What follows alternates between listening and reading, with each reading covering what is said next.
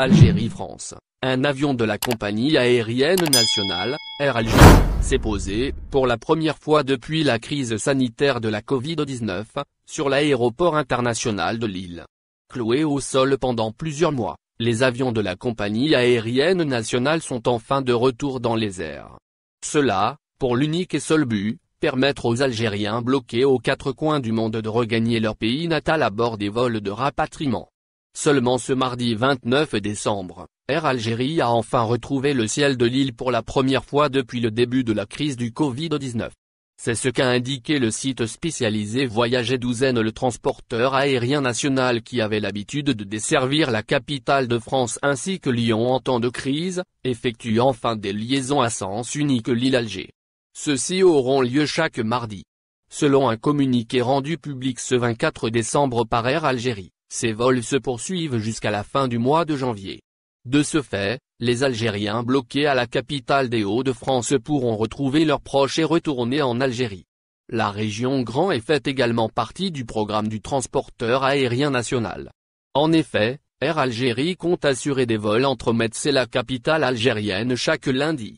Ces vols débuteront la semaine suivante, soit le 4 janvier prochain. Marseille, Paris et Lyon sont également au programme. Rapatriement. Air Algérie prévoit des vols dans les deux sens vers ces pays toujours dans le cadre de l'opération de rapatriement. Air Algérie a, par le biais du même communiqué, annoncé la programmation de plusieurs vols dans les deux sens. Il concerne plusieurs pays. Tous les mercredis, Air Algérie opérera des vols entre Alger et Francfort. Outre la ville allemande, Air Algérie compte desservir, toujours dans les deux sens, plusieurs villes européennes. Barcelone tous les dimanches, Alicante tous les jeudis mais aussi Madrid chaque vendredi à partir du 1er janvier.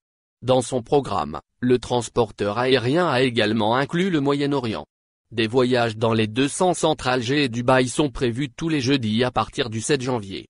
Le Canada, dans lequel plusieurs Algériens sont bloqués, fait de même partie de ce menu diversifié.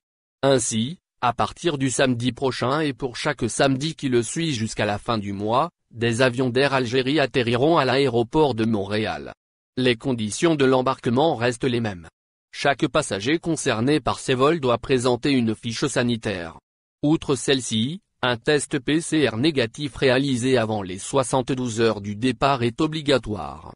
Le voyageur doit également être inscrit dans le site conçu par Air Algérie et dédié au rapatriement. Ce n'est pas tout, chaque passager doit essentiellement être détenteur d'un billet d'avion confirmé. N'oubliez pas de vous abonner à la chaîne et d'appuyer sur la cloche pour recevoir nos dernières actualités. Merci.